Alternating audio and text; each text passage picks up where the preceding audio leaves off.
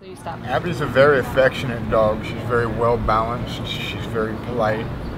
She's uh, she's very um, accommodating. She'll do just anything you want. She's easy to walk, but she wants to be around people. She walks perfectly on the leash. She's well balanced. She's uh, easy to have around other dogs. She'll, she'll bring their balance down if they're too excited, or bringing them out of their shell if they're if they're too introverted. In this program, she's helped several of the other dogs to to uh, one to come out of its shells and, uh, and and be able to interact with people and other dogs. She's uh, she's helped other dogs that were overexcited to bring their energy down to where uh, to where that they could learn and uh, and train. she's a she's a little lover. She's amazing.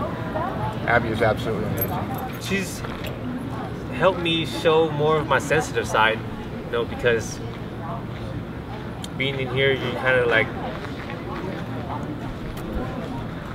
molded to be hard and concrete and not show emotion or affection and everything. And then um, Abby, um, she's helped me bring that up, that side of a human out. You know what I mean?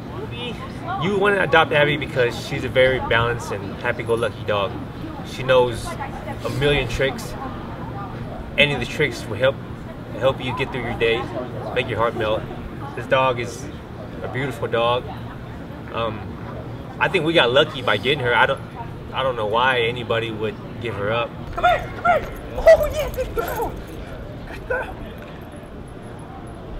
Abby's an excellent dog, and I believe anybody out there that would adopt her would feel like they won 100%.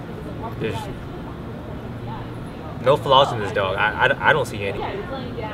She's one of the best dogs that we've had.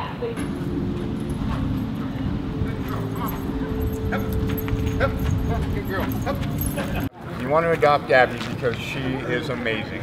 She's non-judgmental. She's she's totally unconditionally true, know. And I can't I can't believe that she wound up in this program, and I'm so happy that she did. She she has made my quality of life better in a place where quality of life is really poor, and I can only imagine what she's going to do for your quality of life where uh, wherever you are and whoever you are.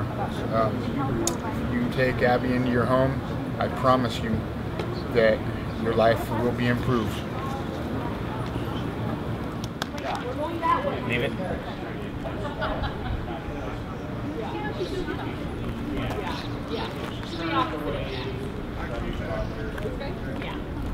Okay. Come on, Abby.